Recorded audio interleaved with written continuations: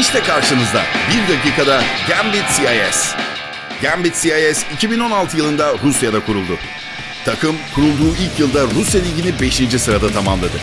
2017 yılının kış sezonunda takım yine bekleneni veremedi ve 6. oldu. Gambit yaz mevsimine bomba gibi transferlerle başladı.